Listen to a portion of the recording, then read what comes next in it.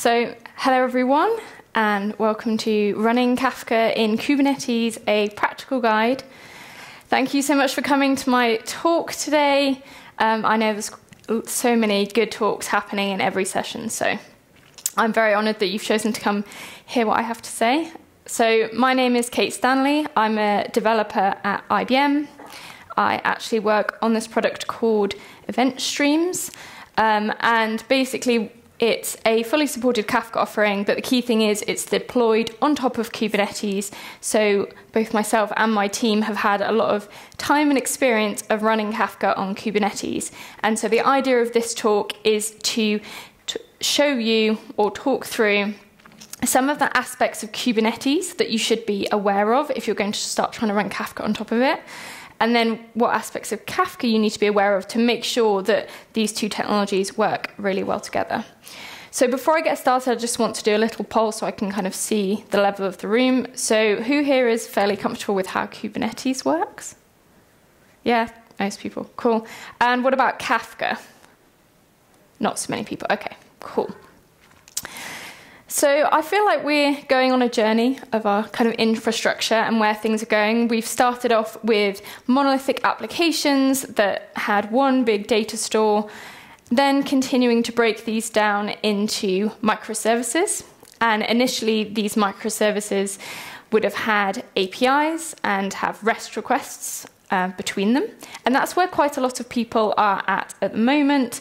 But more and more, I'm seeing people moving to actually having an event backbone as part of their applications and having more publish subscribe type requests going around their system. So I do quite a lot of different talks about how, why you should move to having an event backbone and that kind of thing. But it is something that is gaining popularity, and people are realizing that actually you can get a lot of um, extra value from flowing events and being event based instead of always being data driven. So we've got this system, we've also potentially got some databases that are sitting alongside, and this is kind of the point that we're getting to. And of course, when everyone started moving to microservices, um, we all thought this is great. We're solving all of these problems around having these massive applications that we can't update. We're now able to iterate really quickly, write new applications, and put them up. But of course, the big thing that hits you in the face straight away is I've now gone from one box to multiple different boxes. And so then that has brought about the rise of containers, giving you encapsulation of your dependencies, isolation, and dev prod parity. So containers great, they solve some of these problems that have been brought in by splitting down into these smaller pieces. But of course, moving to containers also brings in other considerations. So, how am I going to do routing? And how am I going to be handling failure? And tools like Kubernetes step in to try and solve some of these problems. And we'll see that particularly routing and handling failure are two of the main things that you have to really think about when you want to start running Kafka on top of Kubernetes. So, for those of you who don't know, Kubernetes is Helmsman in ancient Greek. Uh, it's declarative, so the key thing is you describe a desired state and Kubernetes makes it happen.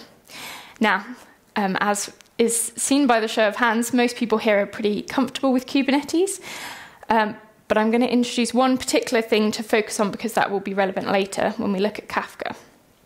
So, when we're running on Kubernetes, we have this idea of a pod, which might have one or more container inside of it.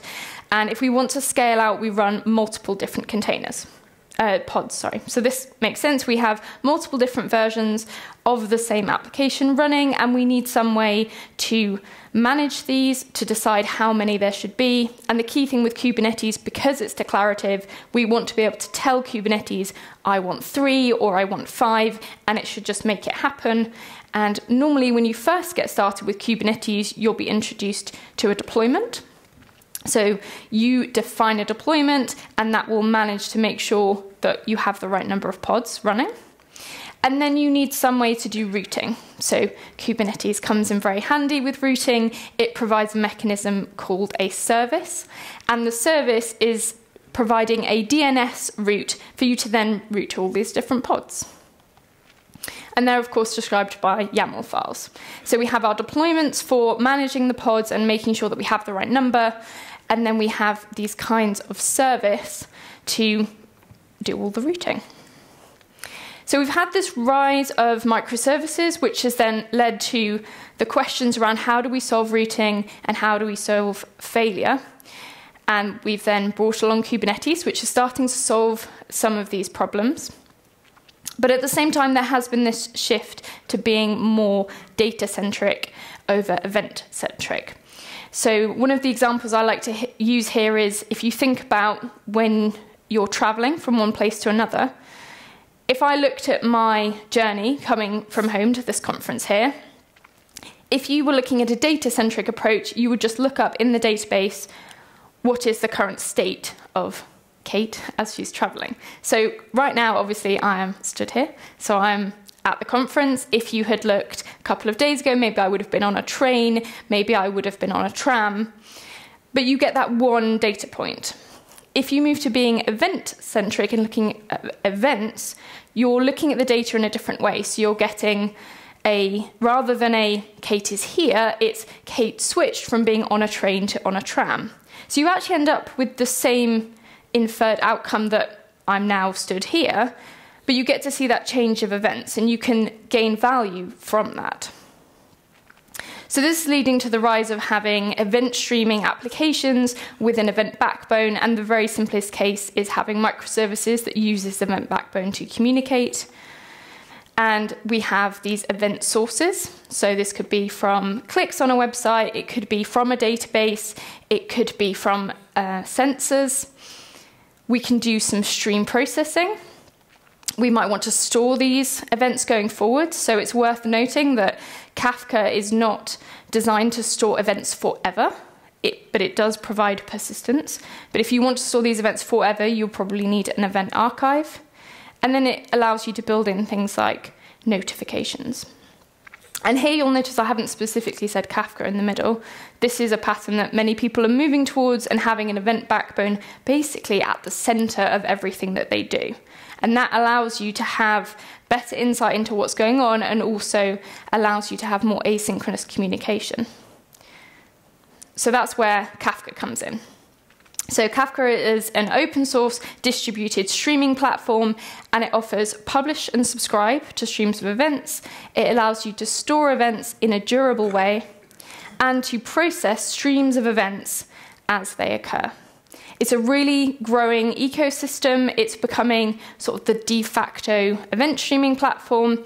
And I go along and talk at lots of the Kafka um, conference events, and every time I go, there's just more and more people there. So it's definitely gaining um, sort of community push. So for Kafka, I think the best and most challenging thing about it is it's really, really configurable. So you can set up Kafka to do kind of whatever you want, whatever suits your use case around event streaming. But because of this, there can be a bit of a learning curve when you get started. So I did a deep dive yesterday to try and cover as much as possible around Kafka. I'm going to be doing a 15 minute quickie later. Um, but for this talk, what I'll do is just pull out the key things that you need to know before you start running it on top of Kubernetes. So the basic building block we start with with Kafka is we have our topics. So a topic is a way to store a set of events. We call these events in Kafka records, and the key thing is they are ordered records, they are immutable. Once they end up in the topic, they stay there, and we refer to them as an offset. But the key thing is you're always appending to the end. These topics um, and all of these events get stored in brokers. So in Kafka, we have a cluster. It's a distributed system, so you would run one or more brokers. Normally, people start with three. And this is where all of the traffic is going to be going and where all of your events will be stored. So this is your event backbone. Now, one of the key things that uh, Kafka provides is it has built in scalability. So we have partitions here. So a topic is separated into one or more partitions. you get to choose how many partitions that you want. And basically, what will happen is these partitions will be spread out across the different brokers, and for this reason, then you can have scalability. Because it means you're not having everyone who wants to produce and consume to one topic always talking to the same broker. So it gets spread out. So that's great. Um, but it also provides built in replication as part of Kafka as well.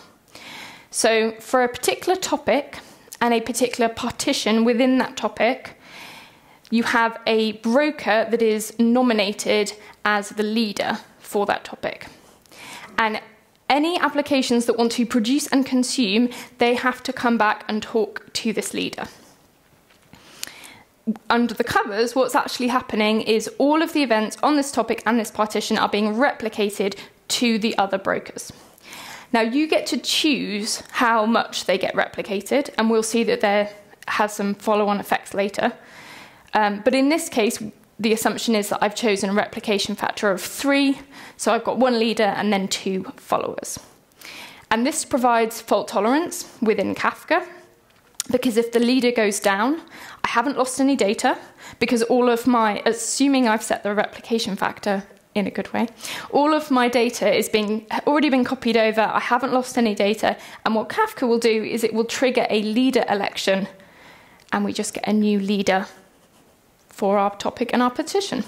And what Kafka will do is we'll just tell all of our clients that we're connected, that we're trying to produce and consume to topic A, partition one, that actually the leader lives over here now, and they will just reroute themselves. So we're all good.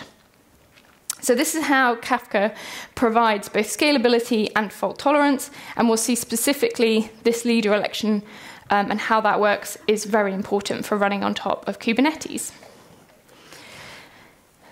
In Kafka itself, we also have producers, so um, I just want to add this terminology so that if I say it's not confusing. Producers is the name we give to applications that are producing to Kafka, so sending events into Kafka.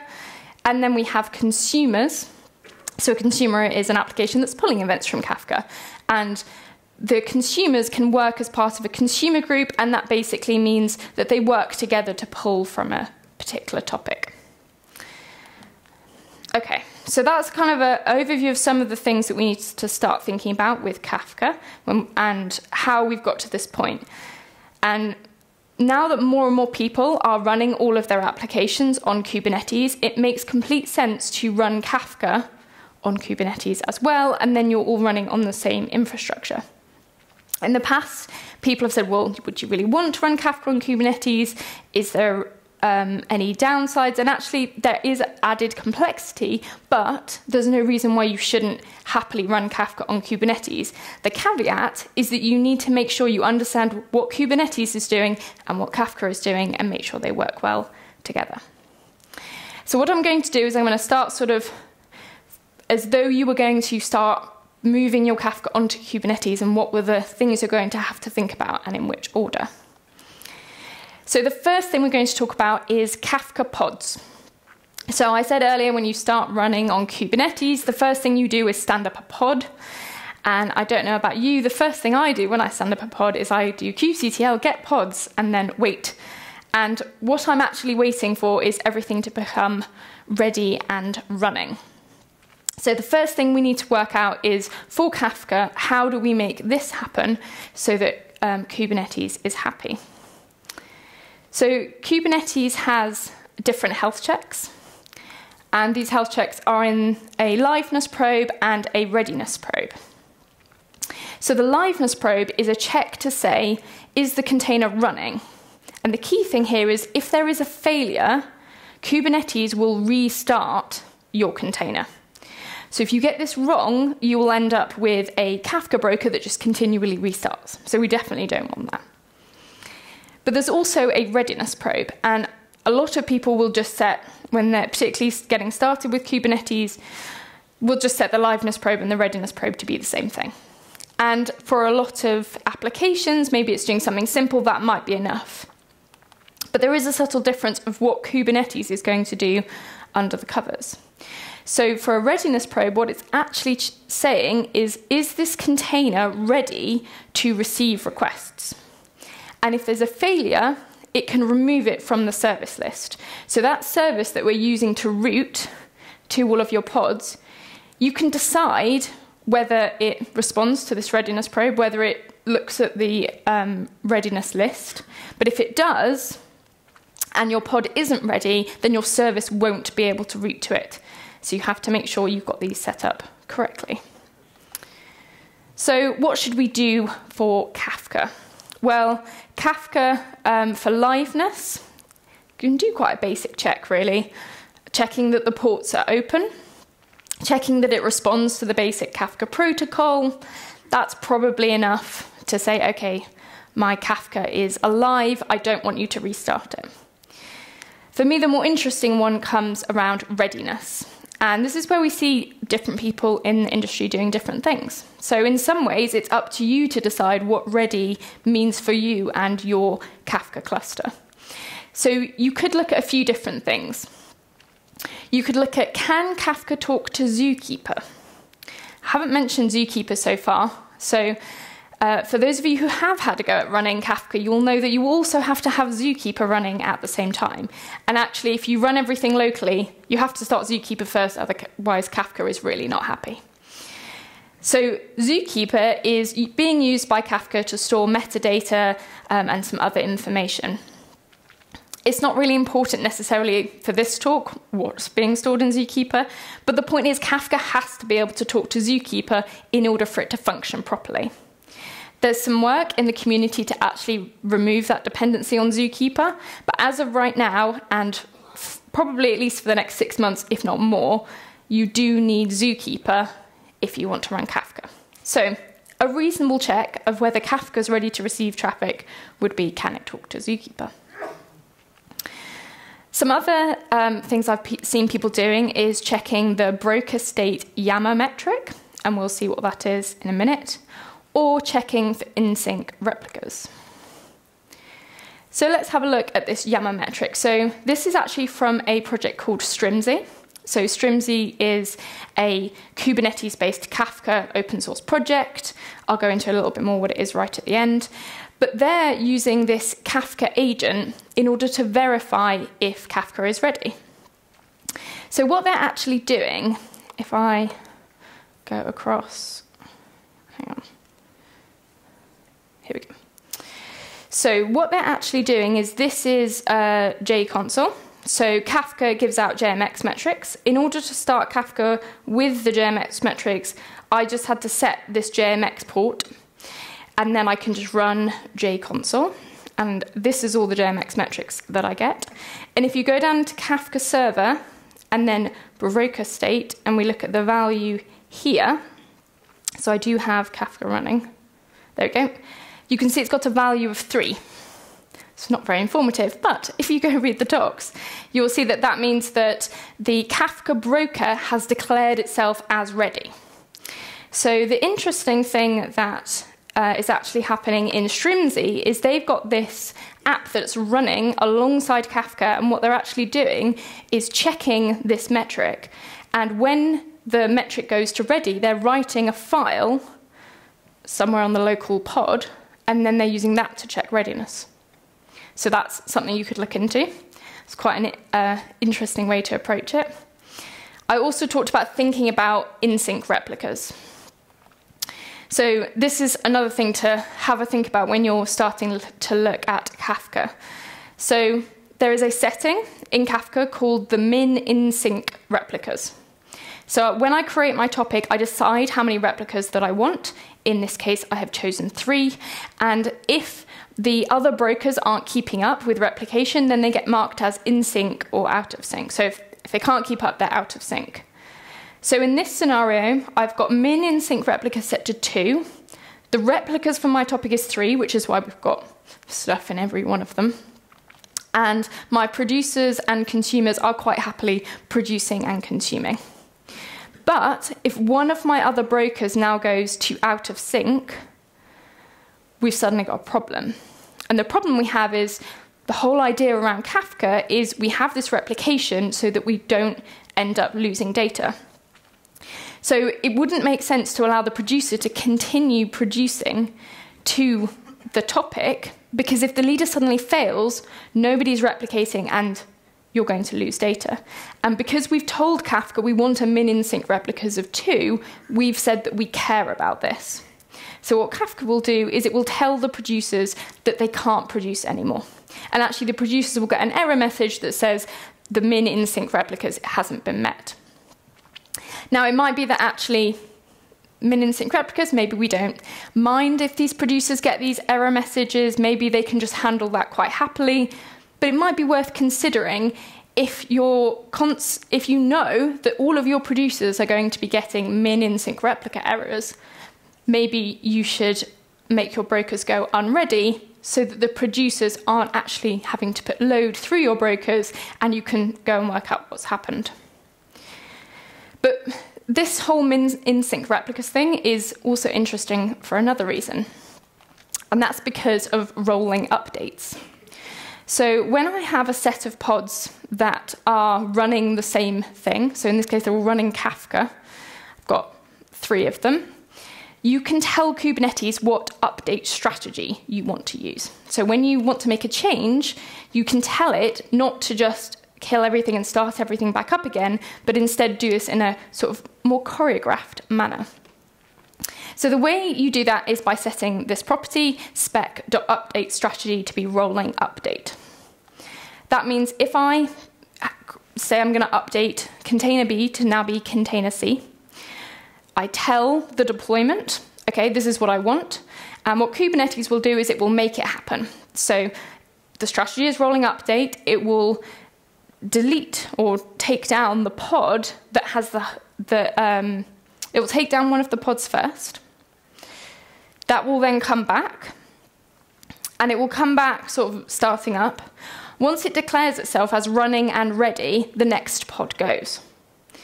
Then that one starts to come back up. It's got the new container. Is it running and ready? Yes. Okay, the next one can go, etc. But the key thing here is if you don't configure your Kafka readiness probe to wait and say that it's ready once other replicas have caught up, you could get in a scenario where one of the pods goes down, the broker gets killed, it comes back up. Maybe your replicas um, are only on two of the brokers. Maybe you've only set replication to two. So you've got this new one that's come up and it doesn't know anything. And you've got the next one along that's still got all the data, so you're all good. You haven't lost any data. But if you don't wait until your new broker catches up with everyone else, the new the next broker goes down, suddenly you've lost data. So it's not just important when you first stand up your brokers to make sure you wait until they're ready to start flowing all the traffic, but it's also important for these rolling updates as well. And we can see a little bit more um, how you can understand the state of your cluster. So I've got uh, Zookeeper already running, and I've got three Kafkas running. Hopefully they're happy. We shall see. I started them a little while ago now. Um, and to start up multiple different Kafkas locally, I had to change a couple of the settings um, just to kind of tweak so they're running on different ports and that kind of thing. I already created a topic um, and I called it test, and you can see there that it's got a replication factor of three. So I've got three Kafka brokers running, and I've got a replication factor of three. And this topic's sh like shell script here, this is actually provided as part of Kafka. You can make the use of this the minute you download Kafka. I can use it to list the topics. I should only have two. One of them is my internal topic that's being used to uh, do state. That's the consumer offsets. And one of them is my new test topic that I created. And as you can see from the command above, a describe will give me some more information. And key, the key thing is here you can see the replicas. So it's been replicated on some different brokers. So my brokers have different IDs. I've got two, one, and zero, and it's telling me which ones are in sync as well. So I'm all good, everything's running. If I uh, run a producer, which is this command, against test, so the reason that it already thinks they're in sync is I already sent some messages in before. But if I send some more, and then we go describe our topic again, we should be all good. It should replicate fairly quickly, I would hope, and they'll all be in sync. There we go. Cool. But if I now go and kill off some of these uh, Kafkas, so I'm going to kill this one, and they're all going to be very unhappy with me. And then I send some more uh, data. Uh, I can now run this again. And you'll notice there's uh, probably been a slight tweak here. So the leader here, there you go, the leader here was listed as two. Because I killed one of the brokers, it's had a leader election. So there's a new leader, leader one. Um, the replicas, it's all still replicating, or it thinks it's going to replicate across all of them, but the in-sync replicas here has changed. So you can see now I've only got replicas on one or zero. And then again, if I were to delete the next one, you can see that it would go down again. So if I do that, make sure I kill the right one. We're going to have another leader election. I can send some more data. If I describe my topic again, you should see the leader will change now to zero, and I will only have one in-sync replica. And if we go back and look over here, you'll see that there is actually some other data that I can get hold of. So in my uh, Kafka cluster, I can have a look at partitions and I can view the in-sync replicas count. So you can see here, I can actually use the command line, but I can also use these YAML metrics, these JMX metrics, in order to actually see what's going on. So if I go into attributes value and refresh that, it should tell me that I only have one, so I only have one in-sync replica. And you can see in here that I can also see um, how many are under my min in-sync replicas. So if you want to do some checks to say, have I got the right number of in sync, and all of that kind of thing, what you can do is you can make use of these metrics here. So hooking up to the JMX metrics for Kafka is a really good idea. But if you want to do a quick cursory check, just doing a describe of the topic is good enough to kind of give you that information. And you're getting quite a lot of information out of here. So you're not only getting the replication factor, but also the leader, what replicas it thinks it should be doing, so that sort of should match up to the replication factor. If I had four brokers one of these wouldn't be on this list, but it also tells you your in-sync replicas as well. Okay. So we've done a demo. So what about Zookeeper? Uh, so Zookeeper, um, you do need to have health checks on that as well. It's something you have to stand up straight away as soon as you stand up Kafka, and for the liveness probe, there's a really nice four letter word you can use, which is Are you okay? Um, so the default port for Zookeeper when you run locally is 2181. So I can do echo Are you okay? Um, to localhost 2181, and it should come back if it's running successfully with I am okay. So we're all good there. What about readiness? So for those of you who aren't aware, Zookeeper runs as a quorum, so you would normally have at least three Zookeeper and three Kafka brokers as part of your setup of Kafka. Generally, we find that three is enough. Even if you're scaling out to quite a lot of brokers, three Zookeepers is probably fine. But it's important to know whether they're working together in a quorum, and you can find that out again using one of these four letter words doing echo SRVR and it will print out this information here. And the thing you're looking for is that mode. So if you can check each of your zookeepers and they say either they're a leader or not, then you're all good. And actually, if I were to run this command here uh, against my zookeeper, so I'm actually not uh, running more than one zookeeper. So if I echo SRVR to local host 2181. Oh, or not. Uh, I don't need the colon. There we go. Uh, you can see the mode is different. So this one says it's in standalone mode. Generally, you wouldn't want that because if Zookeeper, Zookeeper goes down, then um, you've kind of lost data and things unless you've got persistence turned on. But generally, you want more than one zookeeper. So you probably don't want it to tell you you're in standalone mode, but that's something to look out for. If your zookeepers haven't started correctly, they might tell you they're in standalone. Okay, so there's quite a few things to think about when you're getting started. And now that we have our pods up and running, they say that they're ready. We think if they get restarted, the other ones aren't going to be restarted in weird order. We need to think about actually managing them going forwards. So we have this Kafka cluster, and I said that Kafka um, does all of its sort of availability and uh, fault tolerance by copying the data across. But it might be that you want to have logs or things like that stored, or even the events stored more persistently. So you could store that in the Kafka brokers, that's fine. But if something were to happen and all your brokers die at once, then you're in trouble. So it's a good idea, just in case, to also have um, more external persistence turned on for your different brokers.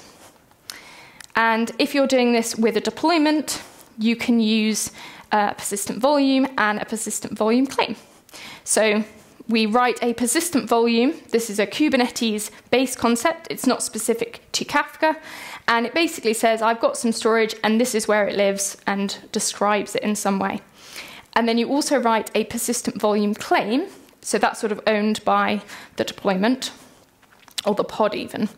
And that's basically saying this is the kind of storage that I'm looking for, and Kubernetes will match them up.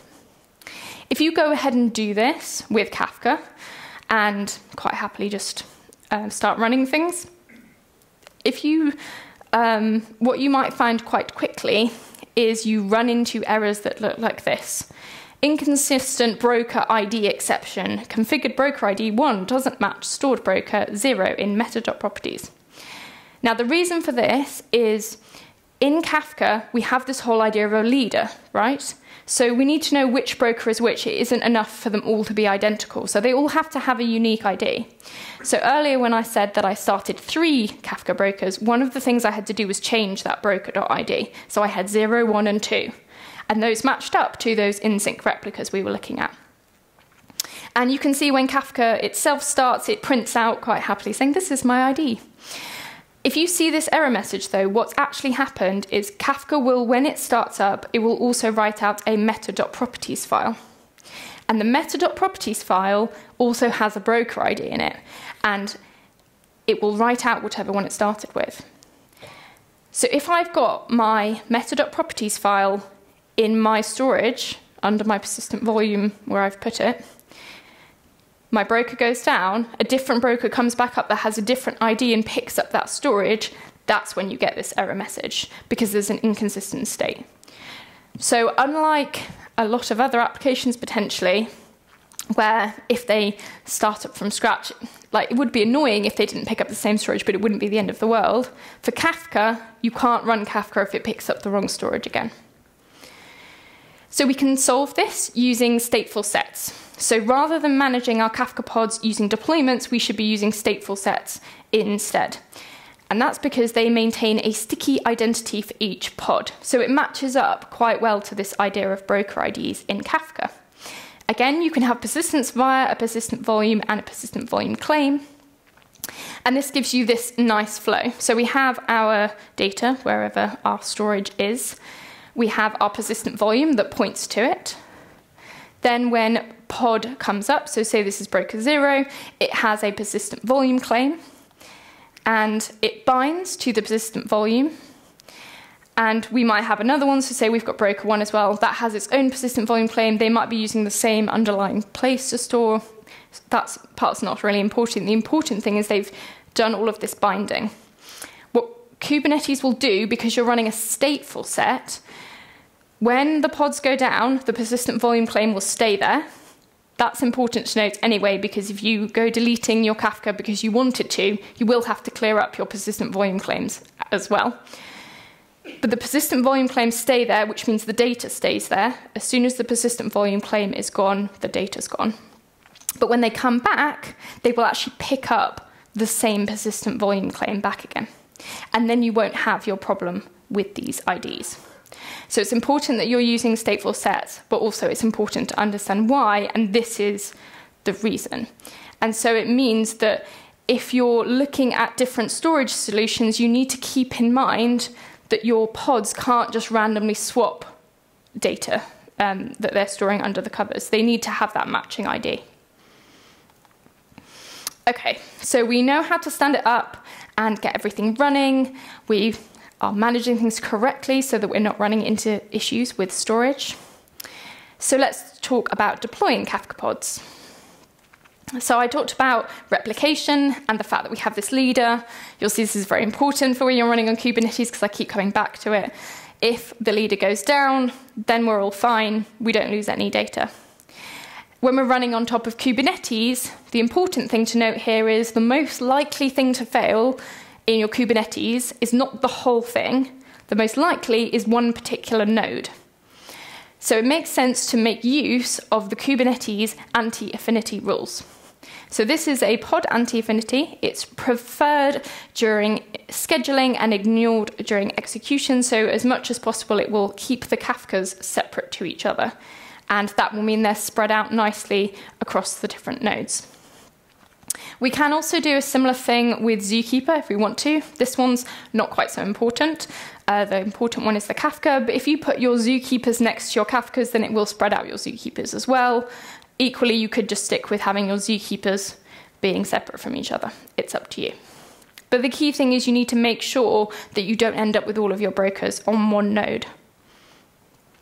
So this is just a quick example. If you were to run my product event streams and then do kubectl get nodes, this is an example where I was running with three workers, and then I had one node for etcd management master and proxy, and then if you describe one of those particular nodes, you will see that it has correctly spread out the Kafkas and the zookeepers. So for running things in the right places on Kubernetes, it's fairly straightforward. You can make use of this. Um, you can also look into availability zones, but again, it's very similar to what you would do in a normal Kubernetes app, and Kafka will support you telling it about availability zones. Accessing Kafka. So this is one of the ones that gets a little bit more interesting, and there's quite a big leap between running it locally on my machine and everything's just localhost to actually running in containers, but then in Kubernetes as well. So again, it comes back to this replication. And the key thing here is all of my clients have to talk to the leader. So the way this works in Kafka is when a client tries to connect, you give it a bootstrap server it, when I was running my producer earlier, I just picked localhost uh, 9092. I only had one broker running there. My other two were on 9093 and 9094. And we saw that the leader was actually broker 2 to begin with. But although I told my app about just about the first broker, broker 0, it was still managing to send all of that data. And the reason it does that is because when you get a request into Kafka, what Kafka will do is say, this is the leader for that partition and topic you're trying to write to, go talk to them. So that means that you need a mechanism to be able to targetively route to the different brokers, which is slightly different to the default approach when you're running things in Kubernetes and you tend to do sort of round robins. Luckily, stateful sets give you a nice solution here. So you use something called a headless service, and you define this by setting the cluster IP to none. And you can see here I've put a selector. My selector is app Kafka, so that means I basically want this headless service to route to anything that is Kafka related. So there's my service there. But the key thing is it means I can actually address a pod directly. So normally with Kubernetes, if you're running in a deployment, you would never directly call to a specific pod. You would go to a deployment, uh, not deployment, you would go to a service because that's what it's there for. But in this case, because those brokers do have those unique IDs and they're important for leadership, you have to be able to route directly to them. So that's what this headless service gives you. You can talk to it using pod name and then um, the name of your headless service, so I've called it my release Kafka headless, namespace service, and then whatever port you're actually going to be on. So you've now got a mechanism that you can route it, but you now have to tell Kafka about that mechanism. And the reason for that is the configuration options in Kafka for listeners and advertise listeners. So in Kafka, this is in Kubernetes, this is kind of what we've got. We've got our Kafka server running inside a container, so that's the white box, running inside a pod, which is um, we've called broker zero, broker one, broker two, and then we have a service, which is our headless service. And if we route to that specific DNS name, the headless service knows to route us to the right pod. So you have two different settings that you can tell Kafka about. The first one is listeners, the second one is advertised listeners. If you run everything locally, you don't have to care because the listeners um, and advertised listeners just get set to localhost 9092 and you do nothing else. It's all fine. But in this scenario, we have the listeners at that level. So a listener is what the Kafka server itself is going to listen on. So it might still be localhost 9092. If you haven't changed the port, it probably is. You've then got um, an endpoint that you've exposed in your container. So that might be the same port that you're exposing, or you might have mapped it to something different. And you've then got the ones from your pods, but it's the ones from your service that are the advertised listeners. So the way this basically works is you need a mechanism to tell people that aren't the actual broker itself how to route to it. So every single broker will get a advertised listener, and that needs to be the address for everybody else to call so that they can get routed to the right place. So I'm going to show an example just because I think that helps to solidify it a bit more. So here we have, um, I'm running a command. This is actually a, just a CLI that we have as part of event streams, but it's a quick way for me to list everything. So I've listed out everything for broker zero, and I've grepped for the word listeners. So my listeners for all of my Kafkas are set to 9092. So that's fairly standard. But for my advertised listeners, I have told it that specific pod so that we can route to the right places. Now, this all works fine if I'm running all of my applications actually inside Kubernetes as well. I route to the advertised listener, all of the other brokers route to the advertised listener, they get routed through because of the magic of the headless service, and we're all good. But you'll notice that it says internal at the beginning of these. So um, in Kafka, they introduced this idea of having different types of advertised listener. And it works really well for Kubernetes because if you have applications outside of Kubernetes that want to talk in, you can basically provide different kinds of advertised listeners. So you could provide internal and external, for example. And then you would have, if all of your apps are outside, you have the brokers communicating between each other using the internal one, and then anyone coming in who's a client would use the external one. You get to decide what those words are. We've picked internal in this example, but it's up to you to name them. But it's a really nice feature to help you have all of this different routing in different places.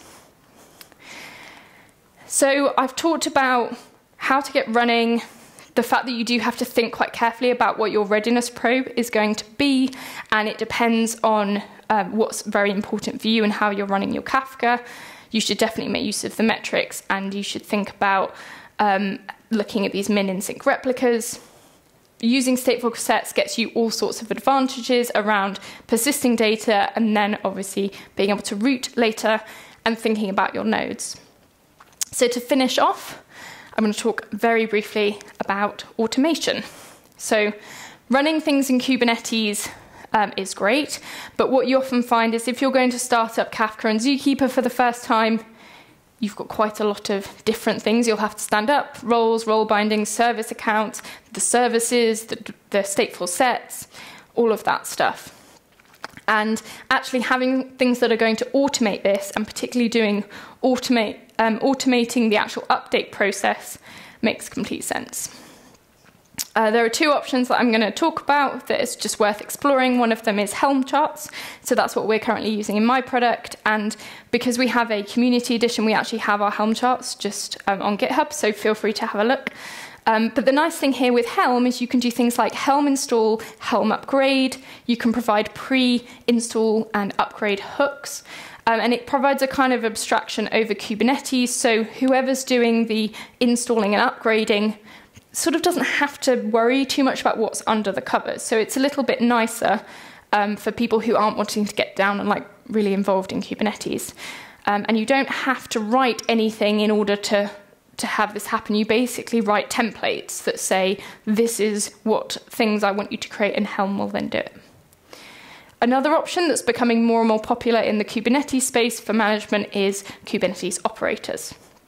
So Strimzi, the project here, is a open source Kubernetes operator for Kafka. And the really nice thing about an operator is it allows you to um, manage your Kafka as though it's like a native Kubernetes object.